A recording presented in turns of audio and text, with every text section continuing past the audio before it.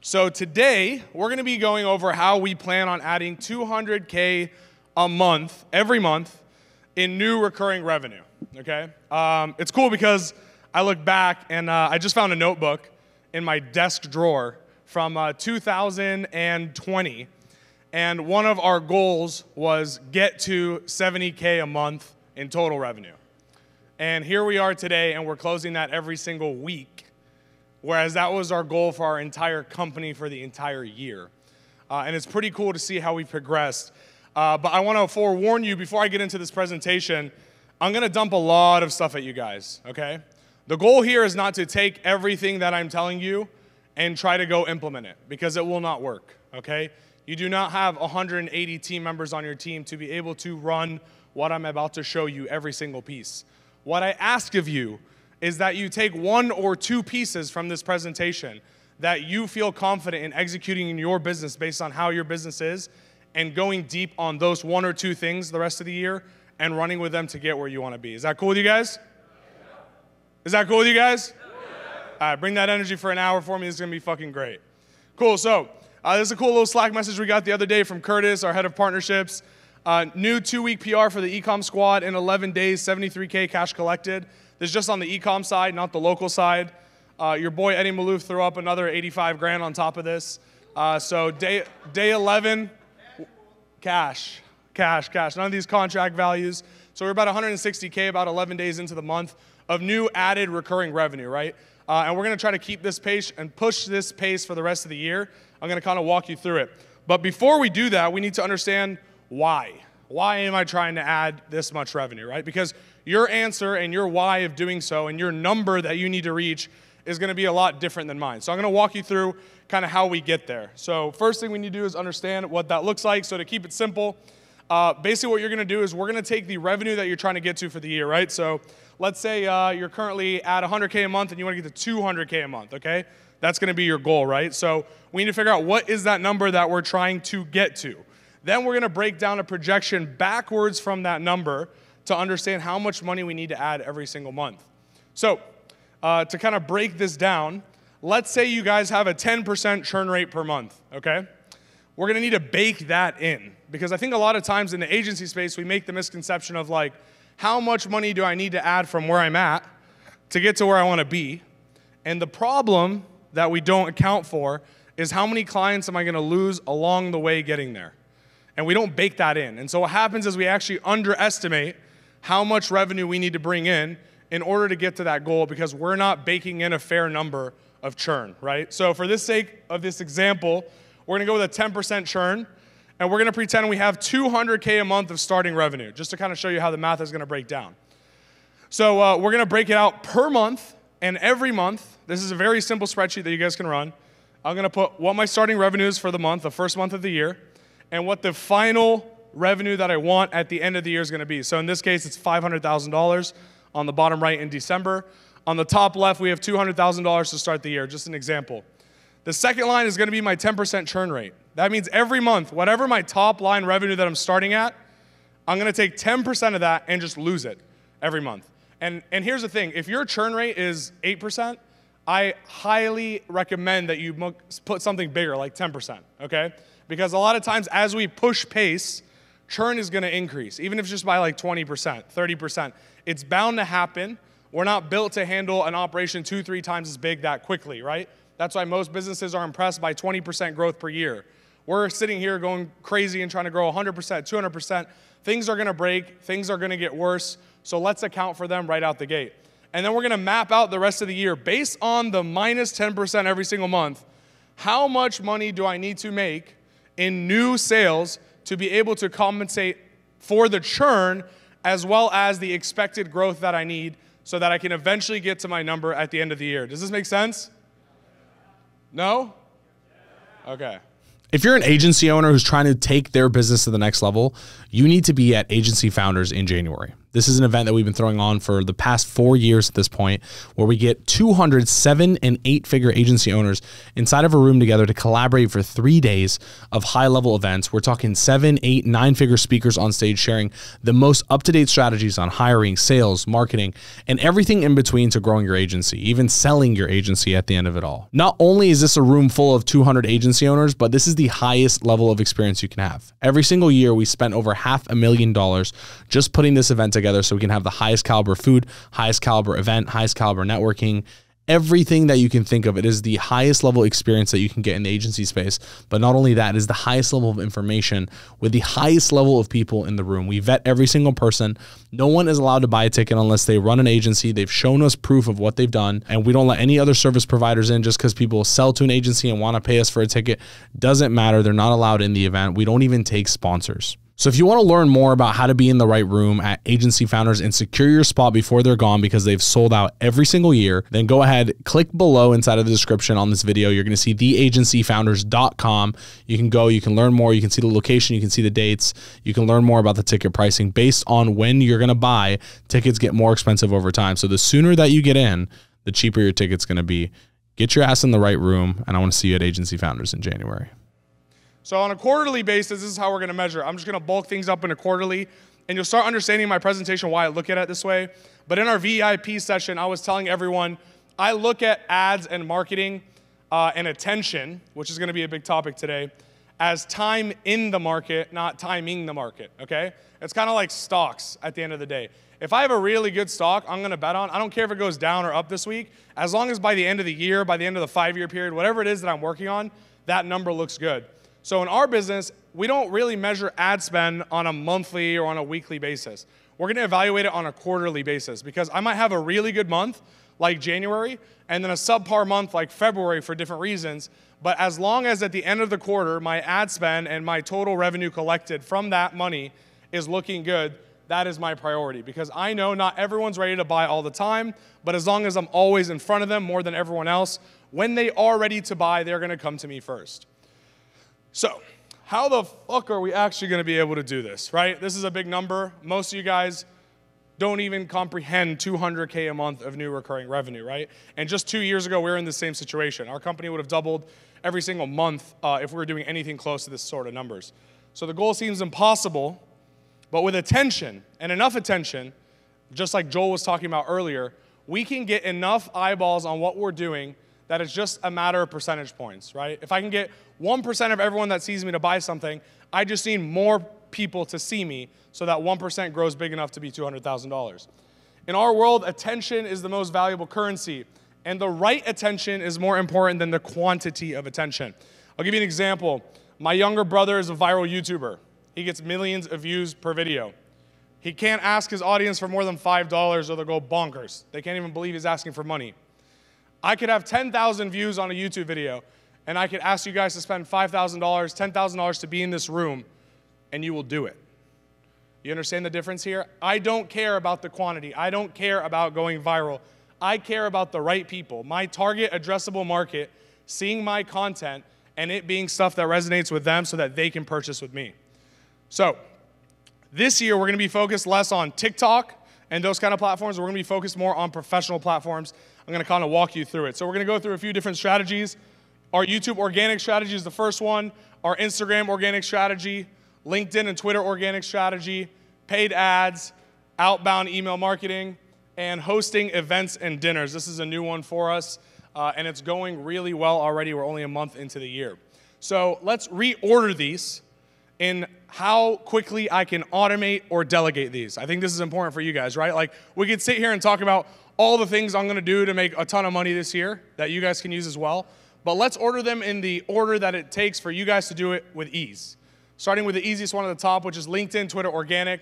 This is something that doesn't require your time. You could have someone else do it. I'm gonna kind of show you what we're doing on our end. Outbound IG email marketing. This also doesn't require your time. You can delegate this fully. Paid ads also doesn't require your time. You can do it once. That thing can run every single day. You just spend more money on it, and it will keep making you money. And as we go down the list, YouTube organic, this starts taking up more of your time, right? The ROI of each one's gonna be different, but as we go down this list, your time is going to be more and more consumed. And so it's more realistic, in this case, for example, for you to even do number one, two, and three, even more than just number four by itself, because number four requires you showing up on a camera and actually delivering content and being strategic about it and thinking deeply about it. Whereas one, two, and three can be automated. You can have someone else doing that job for you, and your face and your voice does not have to be on the camera. Instagram organic and events and dinners. So let's start with LinkedIn and Twitter organic. This is kind of what our current LinkedIn strategy is. I'm sure a lot of you guys are the same. And uh, it's Eddie makes a video for Instagram that has nothing to do with LinkedIn.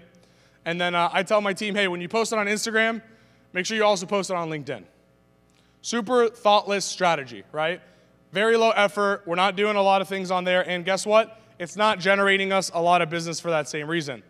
And so I thought to myself, I said, listen, how can I not be the guy who has to sell everything in the company? How can I create multiple versions of Eddie that can sell for the company without it having to be me? Can I take up five times as much space on the internet by having five other people, not me, doing content distribution across the internet? So essentially, what we're switching our strategy to is going to be something like this, where we're going to take subject matter experts inside of our company, whether that's email marketing, whether that's ads, whether that's Google, Facebook, info products, e commerce stores, every single category that we have, and we're gonna basically build their Twitter and LinkedIn followings organically through ghost copywriters inside of our company. So no longer am I going to be dependent on Eddie Maalouf to generate deals for the company on these platforms. I'm going to build my team's brand so big on these platforms in their categories that I will be able to scale that up without their time or my time by basically having them meet with a copywriter and distributing that content through that person. So eventually it's gonna look like this, where a copywriter is essentially gonna have all the information from all these people. There's gonna be an e-com subject matter expert. There's gonna be an email subject matter expert, uh, conversion rate optimization, an Amazon one, Eddie, Ashton, etc. And as we do this, we can start scaling this up more and more and more. And uh, I think yesterday we were talking about this, and um, someone was like, "Do you think I should do like all three of these things at the same time, or do you think I should just do this one thing at the same time?" Uh, and my theory has always been like, I think it takes marginal amount of effort to do all five of these as it does to do like one, right? If the system's already in place and I have a process for what this looks like, I've done the hard work. At this point, I can start plugging and playing different people into this. So, a few ways that we're pulling this content just to kind of keep this easy for you guys. We're doing bi weekly meetings with these subject matter experts and the copywriters to go over things that have happened, case studies at work, uh, different strategies that they're implementing. So I'll take email marketing, for example. We'd be talking about a really sick pop up idea that we implemented on a business and what that came out to be, right? Uh, we implemented a new automation in a business for email marketing and it doubled the revenue from that automation with this one change. So finding things that we're actively doing in the business uh, to do so. We're also taking AI and using that to be able to spin up a lot more content instead of just depending on this copywriter to bang out hundreds of tweets uh, and LinkedIn posts every single week. And uh, who here has a Dubs channel? Can you guys put your hands up, like a Wins channel in your company? All right, cool. About half of you. The other half needs to implement that ASAP. This is one of the best things in the culture of the company, but it's also a huge reinforcement for the sales team because we have a channel where all our wins go in, right? And we encourage our team to do so very, very frequently. And when you do that, what happens is there's this disconnect between your sales team, your marketing team, and your fulfillment team, okay? They don't talk every single day. They don't necessarily know all the cool things that we're doing for clients. And so when we have a Dubs channel or a Wins channel, we allow our team to publicly display and showcase the wins that they're getting for clients, which then empowers not only everyone else on the team, but your sales and marketing team with ammo when they're going and talking to new clients. And so us doing more of this inside of our company will only allow us to have more content to display publicly into the world. The problem that we're doing right now is we have 100 dubs every month that go in this channel, and guess what? We're not going and posting them as a case study. We're not posting them on LinkedIn. We're not posting them on Twitter. We're holding them internally for ourselves. So this year, we're going to start distributing those more often. So essentially, we're going to be posting three to five times a week uh, on LinkedIn. We're going to be requesting connections to decision makers. We've already used you know, list scraping softwares to pull this information. Uh, but basically, we're taking all the decision makers in these companies that we're trying to work with, And instead of sitting here and DMing them on LinkedIn and sending them some stupid cold DM like everyone else is doing, I get 100 of those a day. Uh, what we're doing is we're going to strategically build this over time. So we're going to build our audience organically, and then we're going to push the content that's going to be valuable to them over time. I don't need this to make me an ROI tomorrow, but if by the end of the year, each one of my subject matter experts can bring me one more deal a month, not two, not three, just one more deal a month, I now have six more huge deals coming in without my face, without my name, without my time, without my effort. And over time, that only compiles and adds up, right? So, next strategy is going to be our outbound IG slash email marketing. This one's like the most simple. Uh, I know a lot of people here do cold email. Like, seriously, seriously. They get thousands of leads every single day. They're pushing email as hard as they can, uh, and they're trying to just get quantity, quantity, quantity. And so, I think this for us is the year of stepping away from bulk quantity and trying to be very specific with who we want to talk to, right? I'm not trying to date everyone. I just want the specific people that I want to talk to. So, uh, with that being said, we want to make this more personalized. We, we don't want to make it automated essentially we aren't going after a huge market of people, right? I can't sign up 100 ecom stores a month. It's like impossible. We're, we would die tomorrow. So what I need to focus on is how can I get the five that I want every single month. And so instead of sitting here and going and bulk putting people into a spreadsheet and finding some you know number that I can put and make it sound personalized to them, we're actually going in and doing research on those people's lives. Did they have a kid recently? Did they have an achievement in their company? What are things that we could pull out that we could send in an email and congratulate them on? If someone just had a kid recently and the subject line of the email sending them is, Congratulations on your daughter Ava, example, right? That's a subject line that's worth opening to that person because it's very specific and personal about their life versus the rest of you guys are saying, "Do you want a 2x your return on ads?" question mark, and every single person looks the same, right? And so this year we are spending more time being personalized on these, and I really challenge you guys to do the same.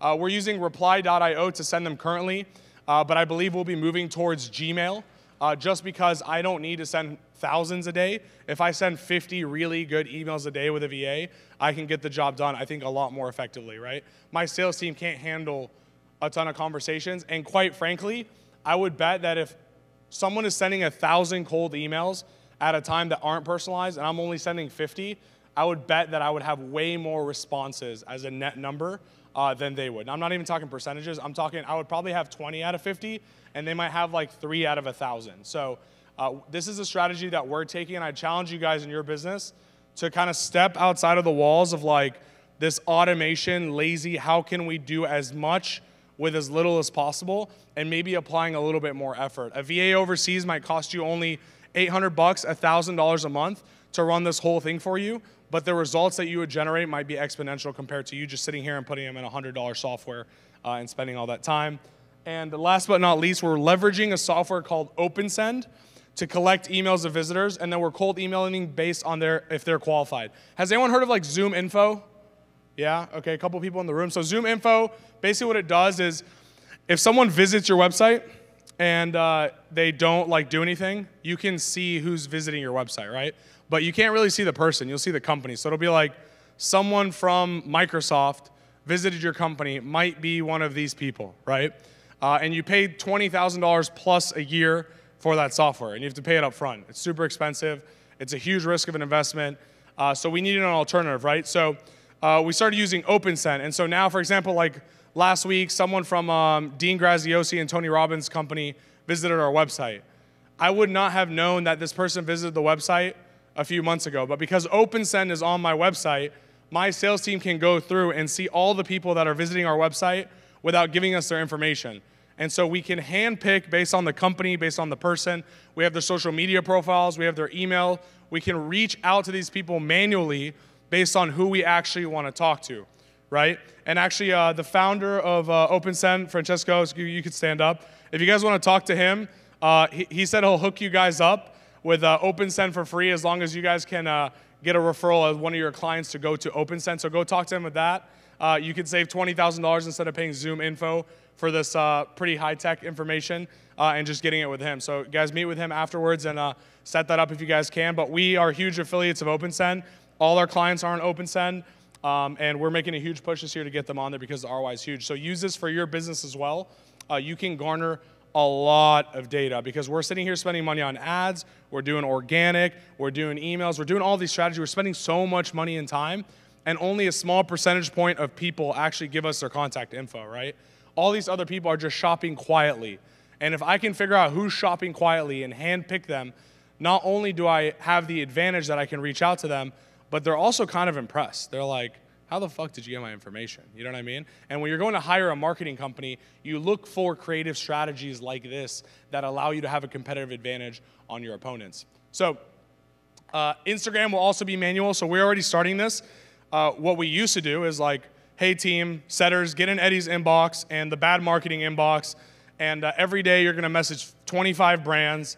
And this is the template message that you're going to send.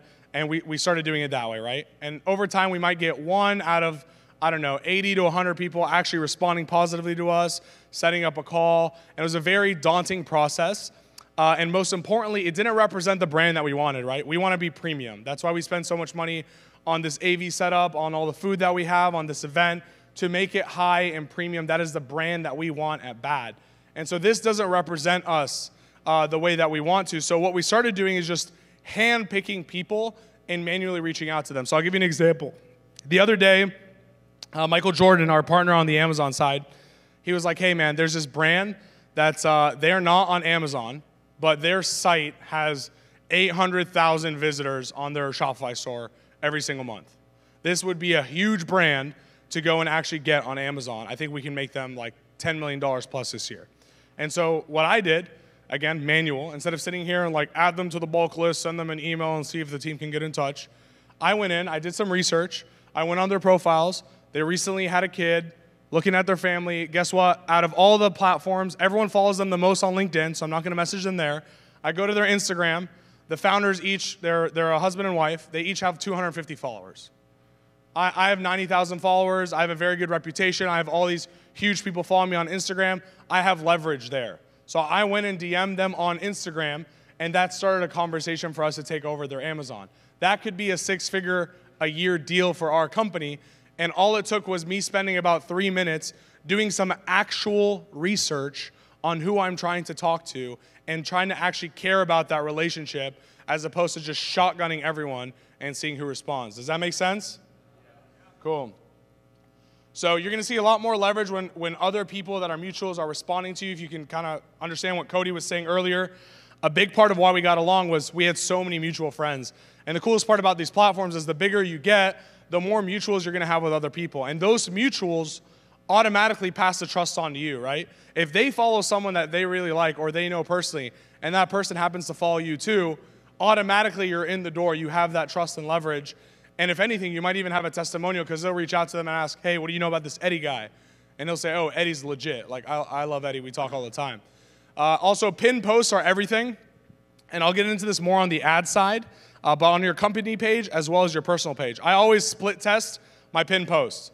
So like I took my Lambo down for a week, and I noticed like my uh, people who are visiting my profile to the percentage that ended up following me went down, and I put my Lambo back up. And then uh, I, I, did like a parody video. I don't know if you guys saw it of like a million subscribers on YouTube. Uh, my brother got a million subs, and I basically carried his plaque and shot like a fake guru video. Uh, pinned that to the top. All of a sudden, my percentage of people who visited my profile that actually ended up following me went up as well, right? Uh, and so we started doing the same on the bad marketing side. I used to think like authority is good. I need like all these pin posts on speeches.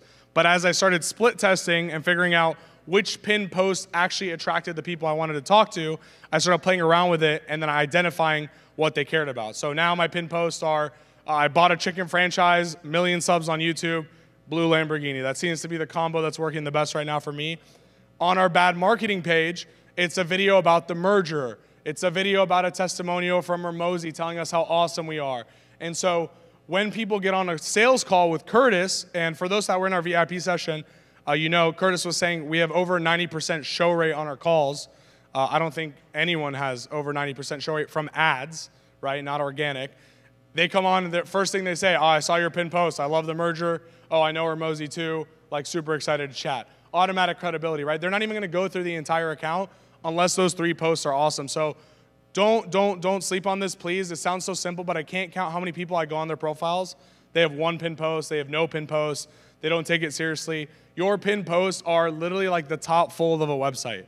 And if you're not treating them like a top fold of a website that you would for a client or for your business, you're missing out on a lot of revenue. So here's kind of just the example so you can get a perspective there. That's mine on the bottom right. That's Bad's on the on the left side, um, and just kind of focus on that a little bit more. So let's get into paid ads. Who here is uh, running paid ads to, to get clients in their agency? Nice, good shit. I think more than half the room. So what we used to do is we used to run paid ads to like really shit ClickFunnels pages, okay? We'd go and just spin up a page as quickly as possible, and we're like, hey, I have a really good offer. Uh, I'm gonna run free content if you run ads with us. Uh, team, get this going. I need it by 30 minutes from now. Go. And then I'll go into the ad account, I'll build some ads, and then team will get the page ready, and I'll run it, right? And it'll do well, and I'll like put some lipstick on it and just keep running it, right? Um, and as we noticed over time, we might get a good brand here and there. But as I noticed over time, higher quality web pages actually got us way more qualified clients. It wasn't about the offer, it was about the brand. And so we started noticing bigger brands, and this is a, a common question a lot of you guys are asking me is like, how do I get bigger brands? How do I get bigger clients? Bigger brands care about brands, and smaller brands care about offers. We've, we've learned this over the last year, right? The smaller the brand, the more they care about what it is, the one time thing that you're presenting to them, what kind of deal are you going to give them? Because you know what? That's, that's how these guys operate. They're like, if I can save money on content and do ads with these guys, that's what I care about. Whereas the bigger fish, they want to know that you're about your brand as much as they want you to be about their brand. And so now, if you go to any of our landing pages, they all look like our website. You can't even tell the difference. You wouldn't know you're on a landing page versus a website. They're all themed the same. The headers all look the same. The buttons all look the same. The text all looks the same. There, there's absolutely no difference. You could be on 15 different landing pages for 15 different offers in our company, and you would still think you're on the actual website of the company. You just can't tell the difference. And automatically, we've been pulling in way bigger fish from these ads. And I don't even need to run offers anymore. I just need to run the ads to these pages. But uh, in today's world, you, you need both to win, right? So you need offers and you need to make the pages feel like they're actually a part of the brand that you're trying to sell people on, right? I'm not gonna give you responsibility of my brand if you can't even make your own brand look uniform and cohesive internally to your own company that you personally own, right? How can I trust you to do the same for my brand?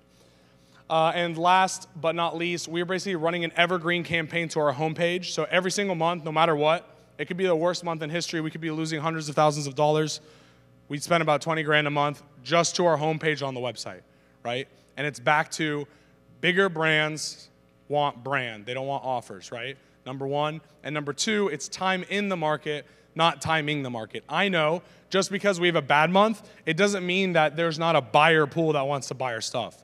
It might just mean it's not now. It might mean they just got into a contract with another agency. It might mean that it's not a good fit right now because of their budget, but in two months, they'll be in a good fit. And I don't want to miss on that opportunity because I know the rest of my competition, what they're doing is they're pausing ads. They're scared. They're getting cold feet. And when that happens, what does that mean? That means I can step in. I can take way more of their market share because they're backing out and I'm stepping in. And so we never, ever, ever, ever, ever turn off ads. We only try to optimize them. So here's kind of a, I guess, a perspective of like an old page on the left versus the same page on the right. Uh, this is the same exact offer. There's no difference in the page. The copy is practically the same. But look at the difference in theming, in coloring, in text, how we, how we do it. The left page was just like a ClickFunnels page that we just spun up for this offer. On the right, it's bad.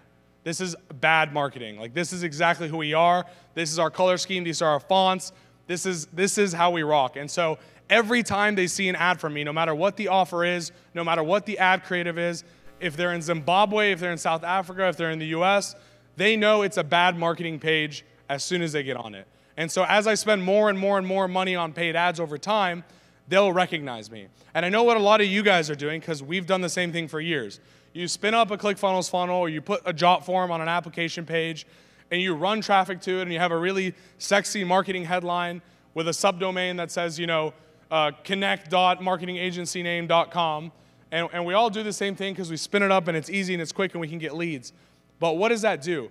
that means the next day you have to rebuild brand every time because every time you build a new page, every time you run a new ad, every time you spend another dollar, you're still rebuilding brand from scratch because you have no identity like this. And the more you build the identity the same across all the pages and you own your identity, the cheaper your ads get over time because they might see six, seven offers from you. They won't remember your company name, is the reality but they'll remember how this page feels and looks every time. They'll be like, I've seen this somewhere else. I've seen this somewhere else. And over time, you gain that familiarity with the marketplace, and therefore you don't have to keep earning that media over and over again. Over time, that media will come back to you. So, this is kind of how our funnels are broken down uh, in a rough sketch on my iPad, just so you have an idea of kind of how we're running things. So, we have the 15, 20 grand a month that's going to our homepage, right? That's every month guaranteed, honestly, some of our best leads, right? Um, but what we also have is a funnel for every single offer or department that we have in the company, right? So in this example, we have a content offer, an email offer, an Amazon based offer, a CRO offer, and then the homepage ads, right? And so, based on the month and based on our capacity as a team, I'm able to determine where I can pull these levers on or off to generate more clients, right? And over time, over the last few years of building new offers and funnels every month, we're not just like deleting these things from our account, right? They're always there. The ads are always ready. The funnel's always ready. The automation's already plugged in on the back. And whenever I want, I can toggle them in the ad account. So if my team comes to me today and says, Eddie, we are overloaded on content. We cannot take any more content clients to run ads for. Please, please, please pause the content ads. I can go pause the content ads and go and find out, hey, email team, do you guys have availability? And they say, yeah, dude, we got, we got availability for four or five clients. Perfect. Let me put more budget into my email offer and run that until they tell me the same message back. And so instead of sitting here and depending on one offer that I'm putting all my eggs on one basket in, I'm able to move across the board and pick and choose based on the marketplace, based on how many of you guys come in, copy my offer, I turn it off, I go quiet, I go build another one, turn it on, and then you guys are done running it, and then I go turn it back on, right? So um, this is very interesting. Another thing I think that a lot of you guys are not doing is uh, shooting new ad concepts once per month and always actually pre-planning the next offers, right? I was talking uh, to a couple guys yesterday, real estate investing coaching. Where you guys at? You know who you are. Are you in here? Where you at? Twin boys. There you go. They're, they, they're convincing me they're not twins, but they're definitely twins. Um, so I was talking to them yesterday, and I was like, they're like, hey, we're struggling. We, we can't scale past like, a, we're making 150K a month. I want to get to the next level. I can't. What do you think we should do? And we started brainstorming a bunch of ideas. And I was like, how many ads have you guys actually shot the last two months? And he was like, oh, I've shot seven like yesterday. I was like, no, no, no. You, it's impossible that you shot seven ads yesterday. You might have shot seven selfie videos of you talking to a camera saying, if you invest in real estate, you should take our course. But how many actual ads did you premeditate? Did you plan? Did you do to be able to generate more business. And they said, if that's what you're asking us, we've done zero in the last two months, right? And uh, Jared, you guys, you did that ambulance ad for real estate and the singing rap ad. How well did those do for you? Crushed it, right? So, how much effort did it take to make that one ad? Fly out to Missouri, planned out, took an entire month to shoot this one ad, okay? But what does that do? Every single person that he's competing against in the realtor market can't compete with that. What they can compete with is sitting on a mic in their bedroom and shooting a selfie ad. Okay? All of us can compete with that. Standing in front of a house and shooting an ad. You now allow everyone in your market to compete with you. But when you put in that extra effort, it's that extra step that 99.9% of people are not willing to take. When you put that kind of effort in, it generates results that 99.9% of people cannot get because they cannot take that extra effort. And so I challenge you this year, instead of sitting here and just trying to scrap your way to some ads and let's try to make them a little bit better and shoot some selfie videos, I challenge you guys to premeditate and plan. How can I be clever? How can I be witty? What do I want my brand to stand for? And putting that kind of effort. It's one thing to do that effort for your clients. You have 100 clients, you can't do that but you only have one of you. There's only one of your business. And so I challenge you this year to try to do that. Like I'm saying, it's about time in the market, and uh, not every month or week is going to be great.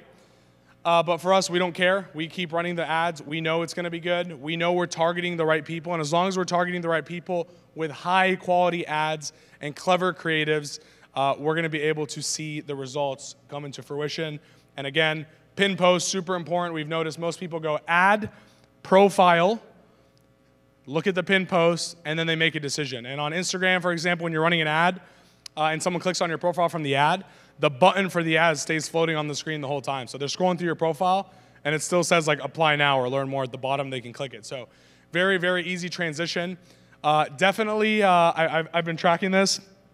To be fair, uh, when we changed our name to Bad Marketing, the amount of people that clicked on the profile went significantly up, right? Versus having like 4Media or He-Man, it's kind of like, I don't know what these guys are. Bad marketing creates a little bit more curiosity. People are clicking on our profile instead of going to the website to see what we're about. We live up to the hype, uh, and then they go and click that. So, uh, is this helpful so far? You guys getting some value? Yeah? Half the room. Cool. Uh, cool. YouTube Organic. Can you stand up if you've watched my YouTube video? Stand up. All right, look around. 70% of the room watches my YouTube. Thank you so much, guys. You can sit down. I want to show you the power of YouTube. Because if I asked you how many people only watch my Instagram and don't watch my YouTube, this room would be a quarter of the size that it is today. Okay? But because we made an effort this year to start growing our YouTube, we're able to have so much more reach and so much deeper reach, right? I bet a lot of you guys have seen hours of content on YouTube. It would take you a hundred of my posts on Instagram to get to one single hour, but it takes one YouTube video to get you to two hours. So the principle here is different, and this year we're gonna be focused a lot more on YouTube Organic. So we're actually splitting up into four different channels is how we're focusing. So I'm gonna have my Eddie Maalouf channel, uh, just so you know kind of how our brain's working here. Eddie Maalouf's gonna be just like my personal brand. I'm gonna be posting all kinds of content. I'll walk you through exactly the strategy of each one. We're gonna have Eddie's agency content. That's where I'm strictly posting videos for marketing agency owners. I decided after a conversation with Joel that I think if I'm gonna build this right, I wanna have a channel just for agency owners where I just deliver high level, agency level information that only relates to people in the agency space and separating that off uh, from my main channel. We're gonna have Ashton's channel, uh, and then we're gonna have the bad marketing channel, which we're gonna be building very aggressively this year. So, what are we posting for each one? For my YouTube, I'm gonna go this, through this pretty quick so you don't get bored. I'm gonna post like vlogging work stuff, finance, marketing topics, speeches or online trainings. This is killer, by the way. Uh, if you guys wanna do something like this and you're not getting invited to speeches, I'd highly recommend you just post up in your office somewhere and, and shoot yourself pretending like you're talking to an office of people, but you're just shooting yourself, right? And it gives that authority effect. I'm serious. It gives that authority effect of you actually talking to other people. So you can kind of write your own video in a way and position it as a talk inside of an intimate room. Uh, and I think you'll get the same net result. We're testing this out right now uh, and lifestyle content as well. On the bad YouTube, we're going to be going podcast heavy, a lot of what Joel's talking about, training and education topics. Uh, fun fact uh, this is actually on the Instagram page, but in December, we posted three reels uh, from our Amazon team. We posted three reels about Amazon educational stuff. Like if you're if you have an Amazon store, you should do X, Y, Z. This is like three tricks to do this on Amazon. We got four clients on Amazon who are paying us very well from those three organic posted videos. So educational content is huge. I think this year more than ever, there's a lot of noise. And I think the more defined you are on the actual value that you can provide people on this content, the more people will want to work with you, right? Trend analysis, this is a huge one. We can piggyback of other search volume that exists. Example, how did Andrew Tate, how did Andrew Tate get so famous? Making a video about that. People are already searching for Andrew Tate. We can look at the keyword volume on Google and YouTube and understand where are these trends and be able to make a video within 24 to 48 hours about them and analyzing them from a marketing angle uh, so that we can pull the viewership uh, of these people and then click or scroll. Uh, Ashton's YouTube is going to be marketing content heavy, advertising content heavy. There's going to be some leadership stuff in there, case studies of clients, judging other people's ad campaigns. So as you can tell, I'm going to be more broad business, more lifestyle. Ashton's going to be very like marketing, performance, leadership driven, right? We're trying to split it up so that I'm not sitting here and doing everything. We can get a little bit more defined as long as we're both doing it at the same time we'll have no problem. Uh, could you guys play this video? Way from Brazil.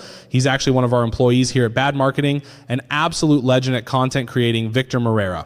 From meeting Victor to what he does for the company now, it's been an absolute honor to bring him and seeing him grow in his profession. I feel like what Victor brings to the table could be very valuable to you who owns an agency or you have creatives in your agency. He had a lot of great things to say on this. Cool. That wasn't me. I never filmed this. I never shot this. I never said this. This is 100% AI. I never once said any of these words. And the coolest part is, this is our beta video. The, the, the new video I couldn't get in time. Uh, we reshot a bunch of stuff the other day to polish it, to fix like the way I blink so that it matches the way I actually blink, little things like that. Uh, but I didn't have to do any of this. And so I guarantee you, some point this year, I'm going to be posting YouTube content that will never be shot by me, never be said by me. My team will just take things that I've said on calls or internal things in our organization, pull that content. They have my voice saved, my face saved, all my shirts saved, my different watches saved, all my all my little gestures, the way I look, the way I blink, the way I laugh, all those things are saved. And over time, you will not recognize anymore if it's me making them or someone else. And so this allows me to go from one YouTube video a week to one a day if I want to, right? With no effort, very, very little time from me, virtually zero. And all it took was a lot of really cool setup. If you guys want the software that's doing this, it's called HeyGen, H E Y G E N. Really cool software. Took us like one hour to figure it out, and we were, we were crushing it. I actually fooled my team on a company call and like played a video that actually had some context.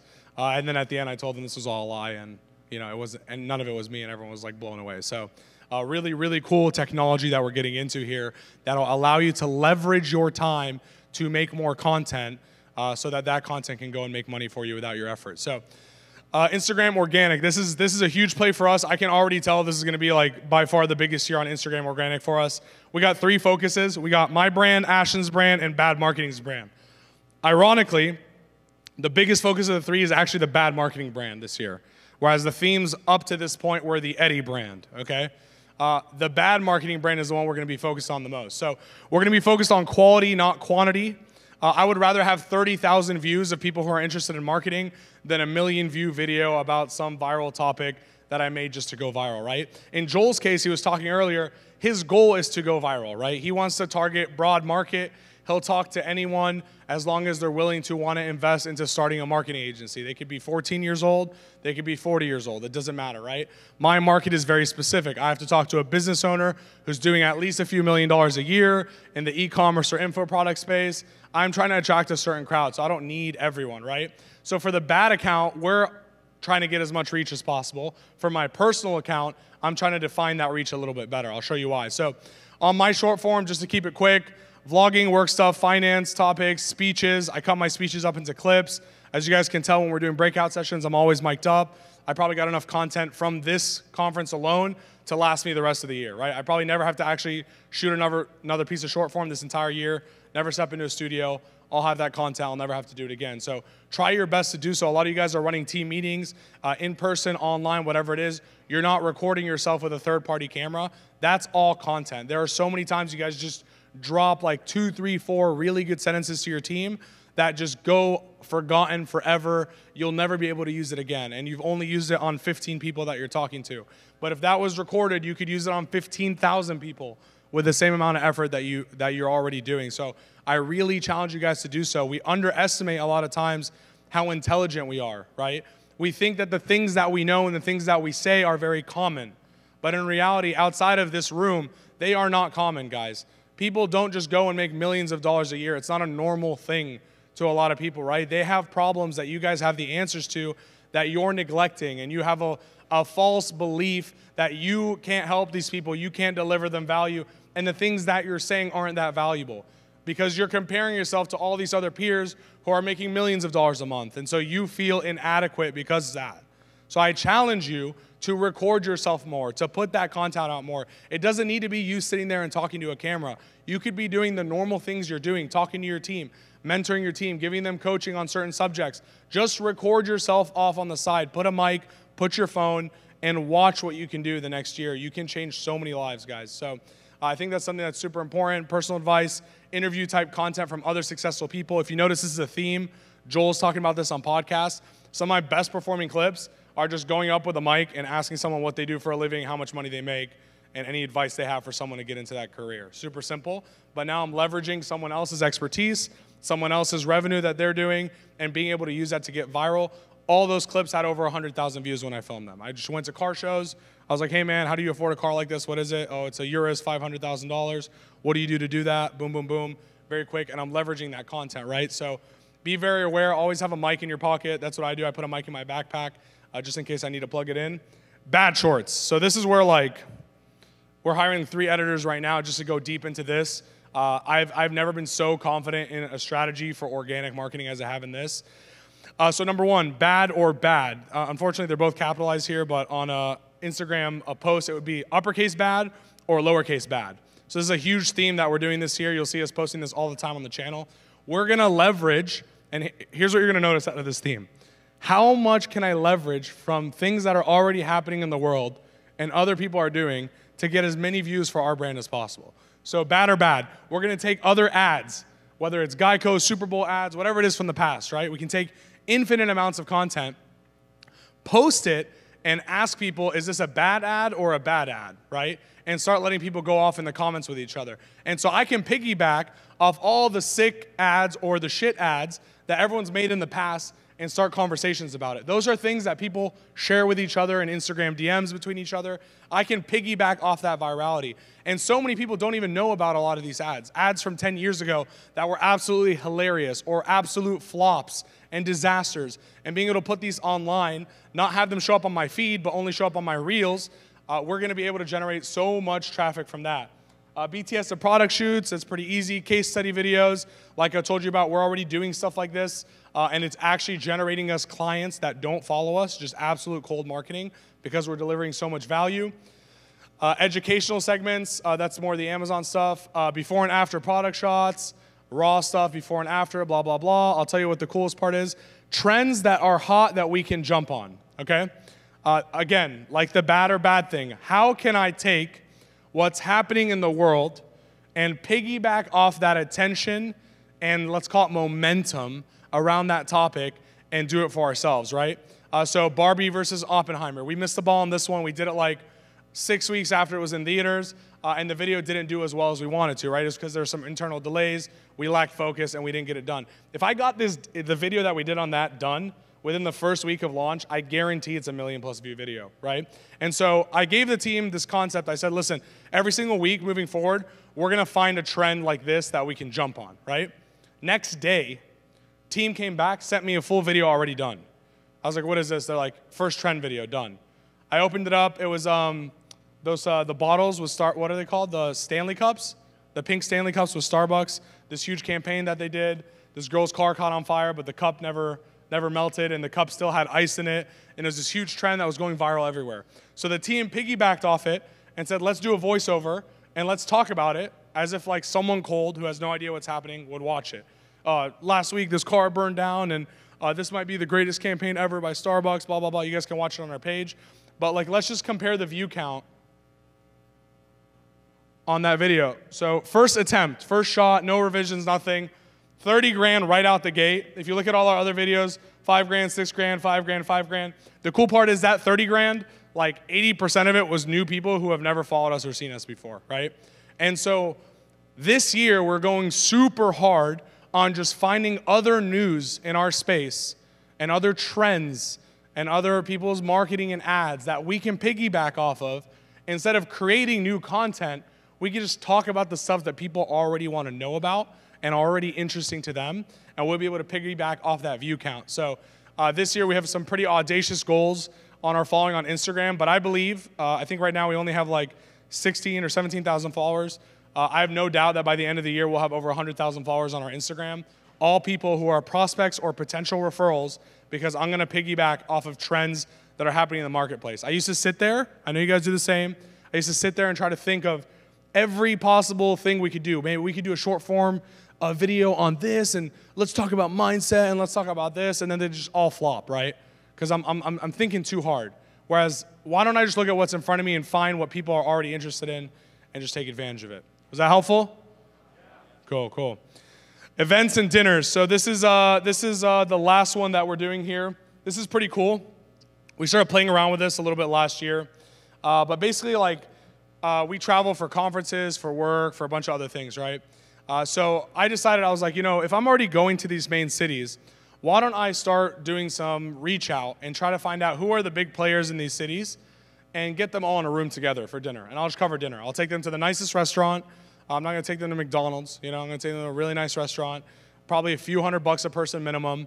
Uh, and, and let's get all these people in the room because high level people want to be with high level people, right? The, the, more, uh, the more money you make, the more valuable networking is versus the less money you make, the more valuable knowledge is, right? So on the lower end of the spectrum in revenue, you want more knowledge. On the higher end of the spectrum, you've acquired a lot of knowledge. The only way to get more knowledge that's good for you is by meeting other high level people who are on the same page, right? If you make a million dollars a month, it's very hard to go to an event and get value from people who are making 200 grand a month. But if I'm sitting at a dinner for three or four hours connecting with other people doing a million dollars a month, I can learn a lot from that, right? So that's what's valuable for these people, and I started noticing that. So uh, we started doing this, and what we did was we went to cities, and we would have you know two or three clients in that city. I'll give you an example: Miami. We did a we did a dinner in Miami. It cost us about seven and a half, eight grand. There was only like ten people at the dinner. Uh, two of them were clients. Seven of them were prospects. Uh, all of them doing multiple six figures or seven figures a month. I put them all in a room together. Most of these people have never met. They're all making new connections. They're like, wow, Eddie put us together. He's doing a million a month. He's doing a million a month. Wow, wow, wow boom, boom, boom. Before you know, all of a sudden, most of that room is now our clientele, right?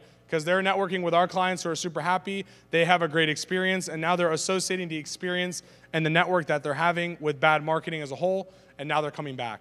And the ones that didn't work with us actually all sent us referrals at some point in the last six months. So our strategy now is like, we don't need a million people to talk to. If I can just talk to like the best 10 in a room, and I can get three of them to eventually work with us, I've done our part, right? And if you think about it, for these guys, average retainer was 20K a month plus 30% of net profit, and I only spent seven grand on the dinner. So uh, do the math there. This is, uh, this is super big, and this is probably the easiest for you guys to implement, right? If you're going into a city and you're working with uh, dentists, it's very easy for you to figure out who are the top dentists in the space and say, I'm hosting a dinner. One, two, three people are showing up. All you have to do is just leverage the other people, right? So if you can get one person to say yes, and say there's other high level dentists who are doing this who plan on attending. And that person says, yes, you can take that information. Bailey's coming to my dinner. Hey guys, yeah, a lot of big players like Bailey are coming to my dinner as well. All of them are going to be doing this much revenue. You want to come? Yes, great. Zach, you're in? Great. Hey, uh, person number three, Jared. Uh, Zach and Bailey are coming over to this dinner as well. Uh, a bunch of other heavy hitters. Are you down too? Yes, you are. Great. Jared's down. Now I take his name and go to the next person. And over time, you just leverage all the other people in the room all these guys just want to be in the room together, but everyone's too lazy to actually plan something, right? So if you do all the planning for them, you can leverage other people that are in the room, and all of a sudden now you have the richest room sitting in dinner, eating on your behalf, uh, and you put these people together. So do not underestimate the strategy. We're going to do like 12 to 15 of these a year. We're going to come out of pocket for all of them. We don't care. We know at the end of the year, this ROI is going to be huge. So uh, the higher ticket you have, guys, the, the more valuable this is going to be for you. You're asking how to get the whales. The whales want to network with other whales. Put all the whales in a room, build your own little aquarium, uh, and you'll be good to go. So um, uh, another thing we're doing is also two to three uh, what we call like piggyback events. This is like this is like big shit. This is definitely the hardest one to achieve. Uh, that's why I left it to the end. Uh, we're spending about 120 to 200 thousand dollars uh, per event. So we just did one of these in Vegas as a test, and basically what we're doing is we're putting 250 to 400 people in a room and uh, we're getting these people uh, into a room based on their revenue. So like you can only get in if you do $5 million a year or $3 million a year, whatever the case is, right? And we're vetting these people beforehand. And uh, again, we want bad to be a premium experience, right? So I'm not just like half-assing these events. We're dropping significant money. Ideally, uh, this is being covered by sponsors, and we're basically bringing the audiences with the sponsors. So uh, we just did one in Vegas. This was our first test run. We spent about $120,000. Uh, we got about $95,000 in sponsorships. Uh, we only came out 25 grand out of pocket. Uh, we've already signed more clients than 25 grand. We didn't pitch a single thing the entire event. We just threw a banger. We had a SIG DJ, open bar, casino tables. Brian was there. Let's go, big dog. Uh, Brian's still recovering. Um, and uh, it looks like this, just to kind of give you an idea. Like, this is high level shit, right? This doesn't happen overnight, guys. I'm not telling you go and just spend 200 grand on an event. But if you are in the dental space, okay, I don't know why we're just stuck on dentist examples this whole time. Uh, Gary's ruined it. You're, you're just getting free value over here, huh? If you're in the dental space and the biggest dental conference in America is happening in Vegas in March 15th, you better go and scrape every fucking dentist in the country and tell them you're throwing the biggest, baddest party of dentists who do X amount of money or more, and you're putting them all in this room and sell the fuck out of that party for the next two months because everyone's gonna go to that dental event. And you know what they're gonna do on the ground? We watched it happen. We went from 150 registrants to 400 in a day. We got 150 people to be like, I'm in for this party, and they all showed up for the event. And everyone's like, What are you doing tomorrow night? Oh, I'm going to the bad party. Bad party? What bad party? Oh, bro, you got to register here. Boom, boom, boom. All of a sudden, dude, one day, 250 people registered for the event. One day. Because we got 150 of them, the big dogs, to all commit to coming to this event. They showed up, and everyone who asked anyone, What are you doing today? What are you doing tomorrow? Oh, I'm going to the bad event. I'm going to the bad event. What is this bad event? What is this bad event? All of a sudden, you have the leverage, right? That's why it's called a piggyback event. I don't need to spend millions of dollars to go and get all the best dentists into the same room when someone else has already spent 10 years building a reputation for their event. They've already spent millions of dollars. They're already paying the best speakers in the industry. They're already getting them all in a room for me. I just got to be the coolest guy in the room. I got to throw the best party. And the coolest part is sponsors want that room. They want this room more than the conference room. If I have the top 400 guys out of a 2,500 person conference, that is the room people want to sponsor. They don't care about everyone else. They can't have 2,500 conversations, but they can have 50 with high, high level people that are going to be great clients for them. And so it's very easy to sell sponsorships to these kinds of events, right? So I went, I booked the venue. We, we, we made a 120 grand bet. And we're like, I promise I can go get some sponsors. We went and got some sponsors. And while we're getting sponsors, we're inviting people the whole time. We did this entire thing in two and a half weeks. We put it all together uh, and it came out pretty sick. So moving forward, we're going to be doing this more often. Uh, our next one we have our eyes set on is the Funnel Hacking Live uh, in Orlando. Uh, again, they're going to put 6,000 people in a room for us. All these guys sell info products or ecom products. They've built reputation over the last 10 years in their software company in this event. And what am I going to do? I'm just going to go throw the sickest after party, and everyone who's anyone will want to come to that party, right? And over time, it'll only get easier. People, I guarantee, will start going to these events that are big, and they'll say, Is there a bad party happening? I want to go to the bad party. Is there a bad party happening? And so this is a huge strategy uh, that we're implementing. Again, I think you guys can do this still. You don't need to do it on this scale. But if you can get 50 of the best people in your industry in a room because they're attending another event, that is mega value for you. You don't need to pitch them. You just need to get them all in the same room and give them a premium experience. And they will appreciate that you are the person that put them in that room, that you are the person that's connected to the rest of these guys and provide that kind of value. Cool? Guys, guys. Cool? There we go. Cool. Now here's the problem. The problem is we can do all of this. I can do the ads, I can do the emails, I can pump revenue, I can sit here and you know add $200,000 plus a month to the company. Uh, but the, the real problem is we can do all this, but how can we actually handle it, right? It's one thing to double from 100 to 200K a month, but we need much more than just sales to be able to handle an extra $2.4 million a month of revenue by the end of the year if I do this every month, right? It's not gonna be easy. It takes a few things. It takes being a better CEO, it takes having a better operation system, it, it takes having a tight company culture like Ashton and Gary have been talking about. It takes better client success processes. It takes better financial management. We can't just throw a $150,000 event if we don't have the money to front before I go and get the sponsorships. These things take planning. They take leadership and team structure. This entire event was not thrown by Ash and I. It was thrown by our incredible team.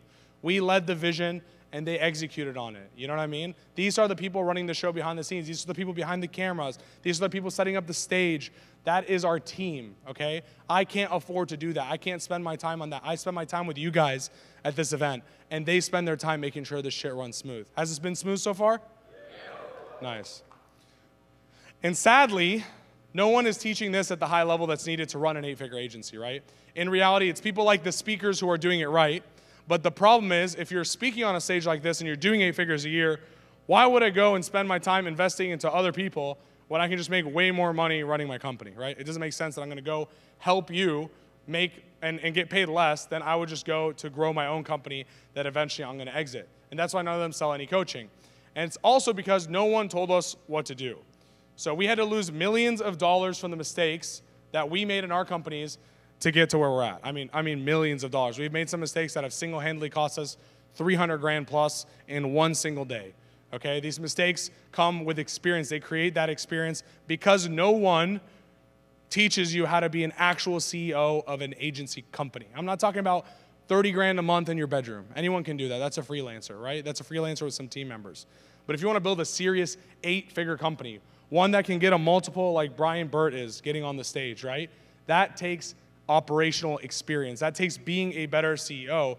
And the question is, how could someone even lead us to places that they've never been themselves? But it wasn't about us having a better business, it was actually about us just becoming better CEOs. We need to step up into that role, right? I, uh, I look back like three years ago, I thought I was a great leader, but I'm just sitting in a room in my, in my parents' house. And uh, we have a VA in the Philippines, a team member in Lebanon. I'm like, you know, I'm a leader. I, am gonna, I'm gonna be there. I'm gonna, I'm gonna have a 10 million dollar a year company. I'm gonna have 100 team members. I can do this now. And I look back and I think like how naive I was to think that I knew what I needed to do in order to get to where we are here today. How many struggles we've been through, how much time we've invested into mentorship, all the things that it took to get to where we are. And just like Brian Bird said, I still don't know what the fuck I'm actually doing, right? And so that I will leave this open for Q&A.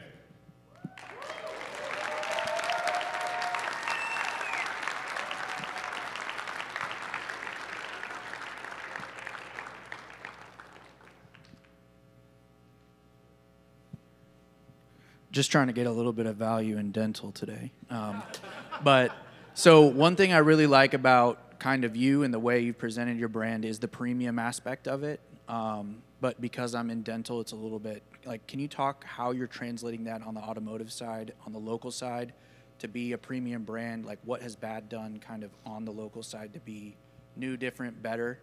Yeah. So uh, what we used to do on the local side was. Uh, film selfie videos of ourselves in the office doing things and trying to create content that was easy to make like everyone else. Now we're going to automotive shops. We're filming really high level, sick content, right? We're, we're going and taking that premium content approach. So everyone else who's a shop owner is going to go to our page and be like, damn, this is the level of shit that these guys are doing.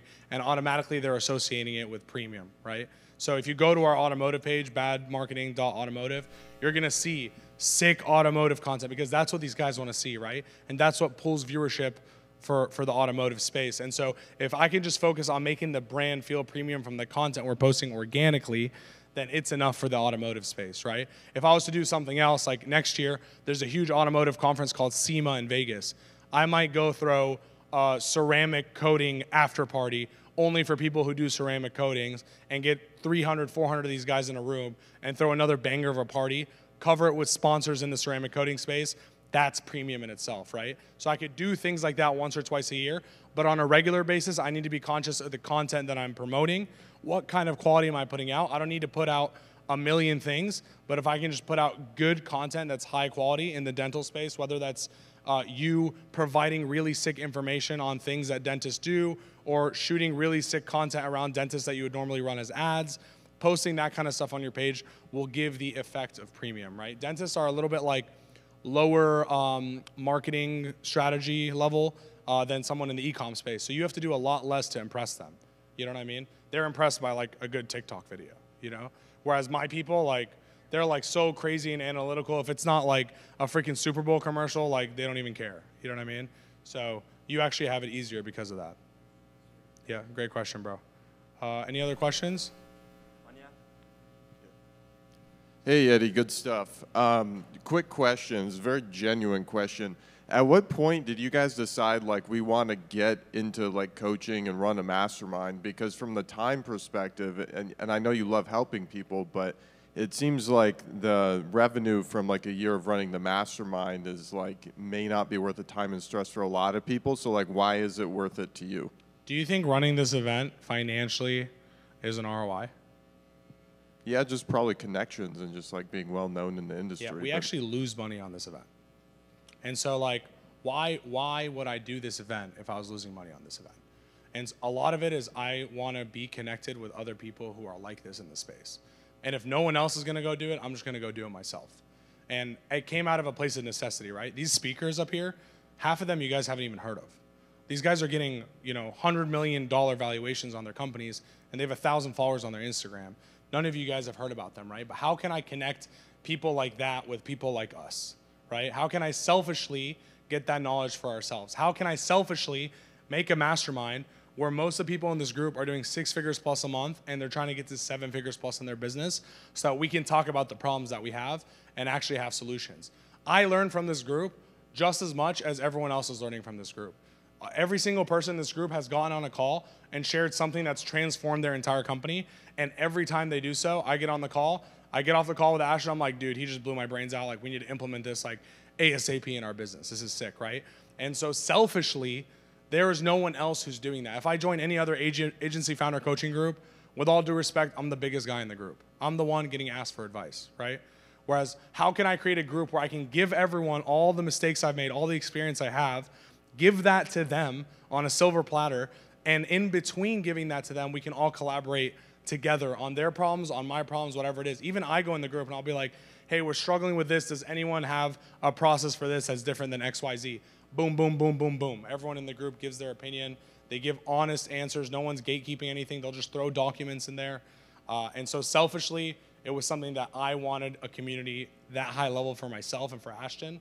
Uh, and we knew that we could provide enough value in doing so as well. Sweet, thank you. Yep. Um, I have a question as far as uh, going talking about brand. So I know that's a big thing for you this year. How'd you go about deciding what angle you want to take? Uh, sorry, one more time. For brand, how did you decide which angle a brand, like what you want bad to be? Like, how do you decide, like, I want it to be edgy and, you know, et cetera? Yeah. Um, I mean, it's my company, right? So like, I'm like, if I'm gonna build this, I wanna, I wanna enjoy this, right? I want, I want it to be something I'm proud of. Um, and so like for you guys in your real estate business, if you guys are like really witty and clever and funny, I would build your brand around really witty and clever and funny, right? I wouldn't try to be someone I'm not. And so I want to be someone who's premium, who's who's always giving, who always collaborating, who's always like outwardly projecting energy towards other people and giving more than I'm receiving, right? And so the only way to do so is to present myself as a premium brand where I'm always doing it over. So whenever anyone buys anything from me, they're like, this guy over delivered 10x on whatever it is that they got. And so for me to do that, it has to be premium, right? The food that you guys have to eat has to be premium. The restaurants that we go to have to be premium. The stage setup has to be premium. And it reflects the same in our client success, right? We're not going to do amazing for every client, but as long as we are setting a standard of doing premium level work, then that is what I want my company to be known as. I don't want to be known as the dude who made the most money. I want to be known as the dude who made the biggest impact and and had that level of premium. You know, like Eddie's selling something, it's gonna be a fucking ROI of ROIs and I'm signing up. You know what I mean? So that is how we how we presented it for ourselves. What do we want to be? We want bad to be that top shelf stuff, uh, and we don't want to sit here and service everyone in the world. You know what I mean? I just want the best of the best, uh, and that's why we picked what we got. So you, I think you guys can reflect between both of you guys and then the, the third guy on your team, uh, and and kind of collaborate. Where do we feel like we want to position ourselves? And like we were talking about yesterday, I think you need to identify like what is that term for your brand uh, that you can use to leverage and say this is us and this is kind of what we represent and then in your ads and in your marketing and in your videography uh, you guys can be you know if witty if that's what you want to be if you want to be super uptight and premium professional you can be that uh, but pick whatever is native to you because i promise you as you guys grow your businesses the more you grow the more you'll have to do content and all these other things to support it and the more outside of your comfort zone and the box that you actually are as a person you are the more uncomfortable you'll feel and you'll get to a point where you say, I fucking hate this shit. I fucking hate filming videos because it's not me, right? But if you're just you, it's a lot easier to do. So I would I would build around what you are and what you want to be. Cool. Yeah, I think that's good advice. Appreciate it. Great question. Any other questions?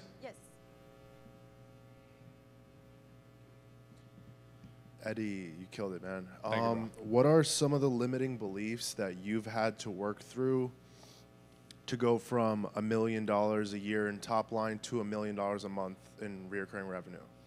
Um, number one would be uh, that I can do it alone. Uh, I think like uh, like Gary was talking about, I always like I always thought like everything had to be done the way that I wanted it to be done. And in order to do it the way that I needed to, I had to do it myself or I had to be involved, right? And uh, I think I had to accept that it's okay if everything is 85% of what I want it to be. As long as we can grow and do that and I don't have to be attached to it, I'll take 85% zero time over 100% full time. You know what I mean? I think that was principle number one. Uh, and I think principle number two, I was telling this story yesterday I forgot to who. Uh, I had a transformational moment in my life. Um, I was like super timid in high school. I, I was pretty much like, I, I, mean, I was a funny guy and all this stuff. I had like self confidence, but not really. I was always like a bench player in sports and wasn't like a cool kid or anything like that. And I was driving to university for the first time. My dad was driving me to drop me off. It was about an hour away. And I was like looking out the window and I like, it clicked in my head. I was like, you know, everyone that's known me up to this point were people who like went to middle school with me, and so like they established like their persona of who Eddie is, and then we went to high school together, and then like that's the persona that I had to keep because that's what everyone else thought of me. And I was like, as of today, all the people that I'm gonna meet know nothing about me except what they know about me in this moment. So today, I get to choose who do I wanna be. Do I wanna be the same guy that I've been, or do I wanna be a guy who gets whatever the fuck he wants in life? And so in that moment, I like, dude, it's crazy. I just had like my own. It's like hypnosis, dude. I was like, that's not who I want to be. This is who I want to be. I want to be I want to be the guy that everyone wants to hang out with. I want to be the guy that brings energy and value to everyone around me. I want, I want to be different, you know. I want to I want to be able to pull people in a different way. And so like I made that commitment to myself. Day 1, I did the most uncomfortable shit. I knocked on 9 stories of dorm rooms. Knocked on every door, introduced myself. It was the most uncomfortable experience ever. I sat next to a new person every meal and every class for an entire semester like it's super uncomfortable. A room of 500 people, a cafeteria, 10 times the size of this room, and there's one dude sitting there, and I go sit next to him. Like they're like, "What the fuck are you doing?" Right? I made myself uncomfortable because I knew that's the identity I wanted, and so it was a huge identity shift. And ever since then, dude, I've just I know I can go get what I want, and if I want something, I know I can find a way to get it. And I tell people some stories about other companies I've started and things like that, and they're just like, "How did you know? Like, how did you know to do that?" You know what I mean? And the answer is I fucking didn't. You know what I mean? I just knew that this was the result I wanted to get. And so I had to find a way to try to see which one worked the best, right? And so a lot of it's just your own internal self belief of thinking, dude, I'm not a guy who can do a million dollars a month. You know what I mean? I, I, didn't even know I could do 100K a month. You know what I mean? Do you ever think that? Like, dude, fucking at one point, I didn't even know I could do 100 grand a month, right? How, how am I going to do a, a, million dollars a month, right? Yeah, and so yeah. I challenge you to shift your framework. Mm. And also, even if it's not me or Ashton, dude, get a mentor who's doing that kind of revenue uh, so that they can help you get to that point because that is the gap that you need. You could sit here and try to figure it out over the next three years. You just have someone give you the answers and figure out in a year. You know what I mean? So even if it's not me or Ashton, I really challenge you to get a mentorship, get into a group of high level people who are playing in that space, and you'll accelerate that growth. Thank you. Yep. Any other questions?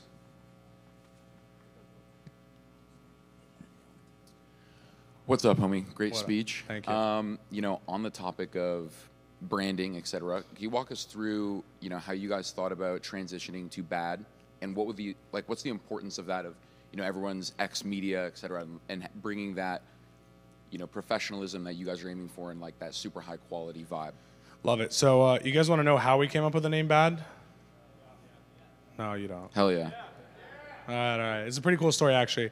I haven't shared this publicly. So, uh, so uh, prior to uh, conversations with Ashton about the merger, uh, we had the name 4Media, right? You can sit down, by the way. It's going to be a story. Uh, we, we, we had the name 4Media. And uh, there's a company in, in the UK called 4Media Group, okay? And 4Media Group happened to exist one month before us as a company in the United States. Uh, and we had, you know, hundreds of thousands of impressions, millions of impressions a month, whatever it is. They were like non-existent, right? And so over time, people who thought they were our clients were going to apply to them. And people who thought they were applying to work with our 4Media applied with them. And then when they got to the final stages of signing up, they'd realize that it wasn't the same 4Media, and then they'd dip and come back to us.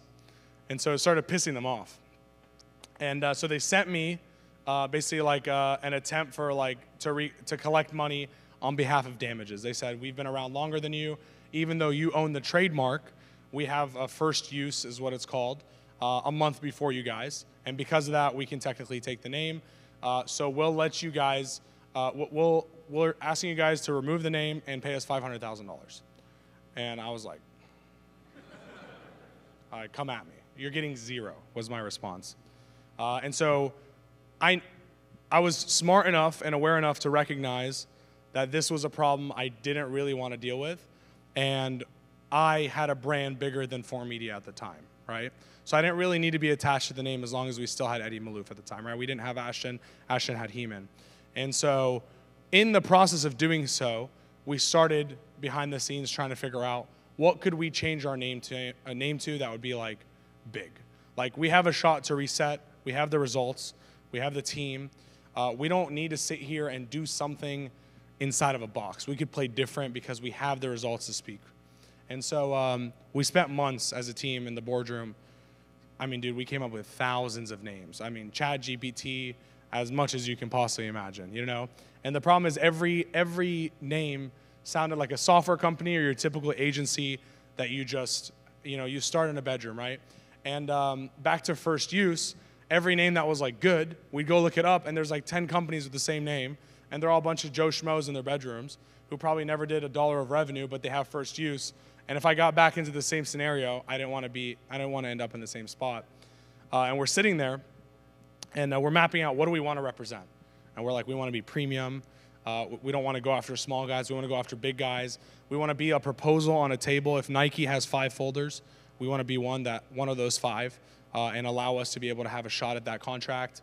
Uh, so we started listing what do we want to do, and um, I think it was Julian. Was it Julian? Does anyone know? It was Julian, our CFO, literally the the worst marketer in the entire company.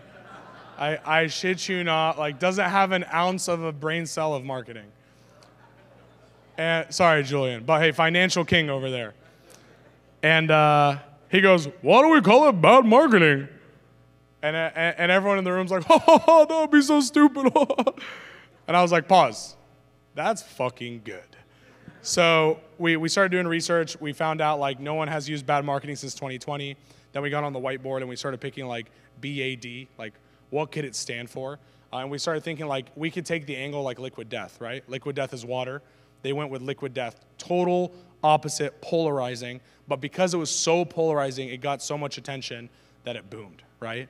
And so we're like, back to the Nike thing. If there's five folders on Nike's desk as finalists for a bid on a project, and bad marketing is one of them, I would bet that they're opening that folder first. And so we're like, that's sharp. But we didn't have the domain. Uh, someone else owned it. We didn't have the handles. Someone else owned it. Uh, so we went on this like private mission behind the scenes to do so. Uh, before we committed to the name, I reached out to Ashton and I said, hey, bro, we're changing our name. I, I probably will never want to change it again. And so why don't we, why don't we, this idea that we flirted for for two years, why don't we explore it right now? Because now is the best time for us to change a name. And if we're changing a name, we could merge and change the name together. And I could take this from a $500,000 lawsuit request to a rebrand and merger and huge PR, and we can turn this from the worst news in company history to the best news in company history. And that's that creative thing that Ashton was talking about. How can I turn this problem that looks so devastating behind the scenes that I'm dealing with privately, no one knows about? I'm back and forth, attorney to attorney. This guy's a prick, won't even like respond to my DMs, talking through his attorney. He literally said, his attorney was stupid enough to say, uh, my client saw that you have a blue Lambo and he's coming for you for as much money as he can get. You know what I mean? So I'm like dealing with this behind the scenes. I'm like, how can we flip the script? And so I reached out to Ash and I said, dude, we've always flirted with this idea. We're trying to build something bigger. We're always collaborating on these projects. We do agency founders together. We know our teams can work. So why are we pushing this down the road? I don't think I'm going to change the name again. If you agree to this name and you're down to take this path and this level, let's build the mission statement together. Let's do the core values together. Let's rebuild what this company needs to represent with this new name and let's launch it and do something out of the box and play just a bigger game and just just do it different. We don't want to play inside of this box of rules that everyone else has given us. Are you down? It took a few months of conversation. It took from April to about July. July we confirmed it's happening. July, August, September, we worked tirelessly behind the scenes, teams merging behind the scenes, doing everything we could. October 1st, we announced it. Uh, and that's why it's called bad marketing. I think we did a pretty good job, yeah?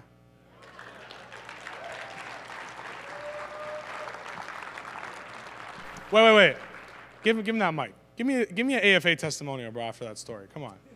Yeah, that was dope, man. Um, yeah, so like you said, uh, we joined AFA last year. I was probably doing like 70, 80K a month. Not only did we make probably our best hires in the business history, but we doubled top line revenue and uh, have a hell of a lot more cash in the bank. You're at what, 200K a month right Yeah, now? 200K. 200K a month, 70K a month to 200K a month, best hires, and now you're building an entire email department. Hell yeah. Fucking proud of you, bro. Thank you. Good shit. Any other questions? You guys are hungry, huh? You guys ready to go to lunch? Thank you so much, guys. Appreciate you.